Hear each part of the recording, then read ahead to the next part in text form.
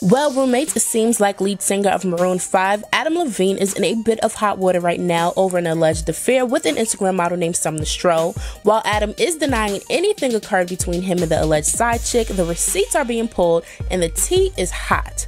So let's get into it so you know. All the drama started a few days ago on TikTok when self proclaimed Instagram model Sumner Stroh posted a video claiming that she had an affair with a man who's married to a Victoria's Secret model. That man was later exposed as being the lead singer of Maroon 5, Adam Levine, who was currently married to model Behati Prinsloo. In the video, she goes on to talk about how the affair between her and Levine lasted for a year and how she was young, naive, and felt exploited by their relationship. I was having an affair with a man who's married to a Victoria's Secret model. At the time, you know, I was young, I was naive, and I mean, quite frankly, I feel exploited. I wasn't in the scene like I am now, um, so I was definitely very easily manipulated. She also revealed messages showing Adam Levine reached out to her and asked to name the unborn child that he and his wife are expecting after her. The video quickly spread like wildfire on the internet and got a few mixed reactions from fans. Some even alleged that Sumner posted the clip for clout. One fan tweeted, Sumner Stroh could have also privately messaged Behati Prinsloo rather than bragging about stealing a man from a Victoria's Secret model, publicly humiliating her, and risking Behati and the baby's health for TikTok clout.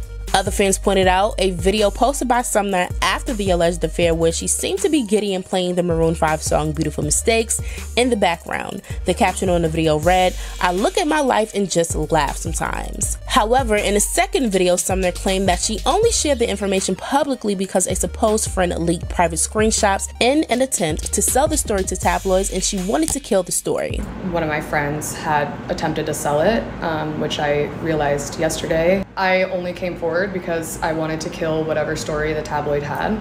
Once the news hit the net, Levine denied having a physical relationship with Sumner, despite her claims that the relationship did reach that point. Levine made a statement saying, I did not have an affair, nevertheless, I crossed the line during a regrettable period of my life. In certain instances, it became inappropriate. I have addressed that and taken proactive steps to remedy this with my family. However, some are finding it hard to believe that Levine's inappropriate communication with Stroh was a mistake, considering that several women have come forth claiming they also had inappropriate communications with the lead singer. In fact, Alanna Zabel, Adam Levine's former yoga instructor, recently spoke out on her Instagram stories and claimed, One day he texted me saying, I want to spend the day with you naked. So far, three women have accused the lead singer of inappropriate messages, and one has accused him of an alleged affair. However, his pregnant wife has yet to speak out publicly about all the allegations hitting the net. What do you think for me? Could the Instagram model be looking for clout or is Adam Levine dead wrong? Roommates, thanks for watching TSR so you know of the week.